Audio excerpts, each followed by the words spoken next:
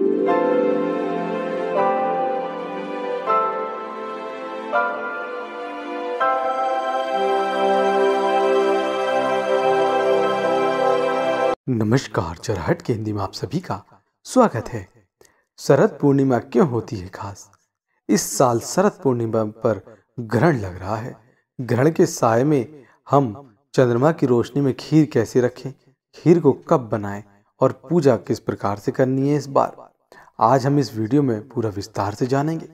दोस्तों, अश्विन माह की पूर्णिमा को सभी पूर्णिमा में सबसे खास माना जाता है। इस पूर्णिमा को कोजागर पूर्णिमा, रास पूर्णिमा या फिर शरद पूर्णिमा कहते हैं। हिंदू धर्म में पूर्णिमा का विशेष महत्व है।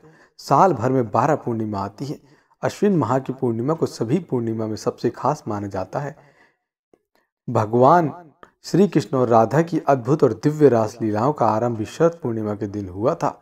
इसलिए शरद पूर्णिमा बेहद खास मानी जाती है। पूर्णिमा की श्वेत उज्ज्वल चांदनी में भगवान कृष्ण ने अपनी नौ लाख गोपियों के साथ स्वयं के ही नौ लाख अलग अलग गोपों के रूप में आकर ब्रज में महारास रचाया था। शरद पूर्णिमा की रात्रि पर चंद्रमा पृथ्वी के सबसे निकट होता है और वह अपनी सोलह कलाओं से परिपूर्ण रहता है। इस रात्रि में चंद्रमा का ओज सबसे तेजवान और ऊर्जावान होता है।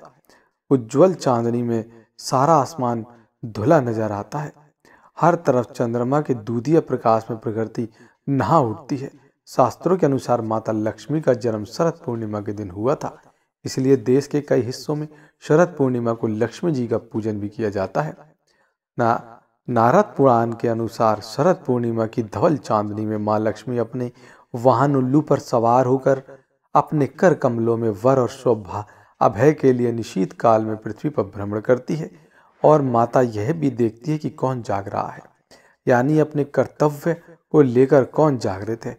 जो इस रात में जागकर माँ लक्ष्मी की उपासना करते हैं, माँ लक्ष्मी की उन पर असीम कृपा बरसती है। प्रतिवर्ष किया जाने वाला यह व्रत लक्ष्मी जी को संतुष्ट करने वाला होता है। इस पूजा का क्या महत्व है? इस दिन माँ लक्ष्मी के साथ साथ चंद्रमा की भी पूजा अर्चना की जाती है। कुंवारी कन्याएँ इस दिन सुबह सूर्य उदय और चंद्रदेव की पूजा अर्चना करें तो उन्हें मनचाहे वर की प्राप्ति होती है। मान्यता है कि जो लोग इस रात लक्ष्मी की षोडोपचार विधि से पूजा करके श्री सूक्त का पाठ कनक धारा स्रोत, विष्णु सहस्त्र नाम का पाठ करते हैं, उनकी कुंडली में धन योग धन योग नहीं भी होने पर माता उन्हें धन धान्य से संपन्न कर देती है। शरद पूर्णिमा पर खीर कैसे बनाए?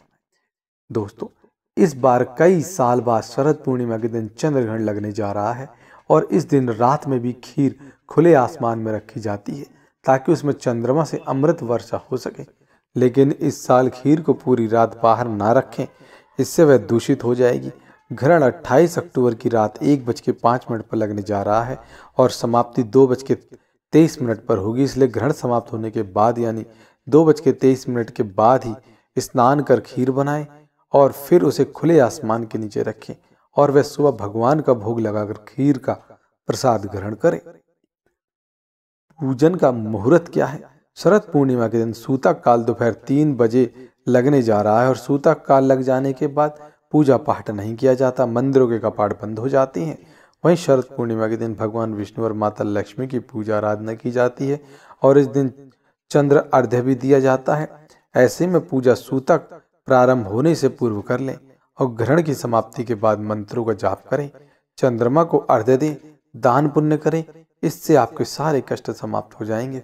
तो ध्यान रखें, रात में दो बज के तेईस मिनट के बाद ही नहा धोकर खीर बनानी है और उसके बाद ही पूजा पाठ संपन्न करनी है। उससे पहले सूता काल में ना ही खीर बनाए, ना ही उसे चंद्रमा की रोशनी में रखें। और सूतक के समाप्त होने के बाद ही आप माता लक्ष्मी के पूजन करें या फिर सूतक शुरू होने से पहले माता का पूजन कर लें। तो उम्मीद करते हैं कि वीडियो आपको पसंद आई होगी। वीडियो अच्छी लगी हो तो वीडियो को लाइक और शेयर करें। चैनल पर पहली बार आए तो चैनल को ज़रूर सब्सक्राइब करें। धन्यवाद।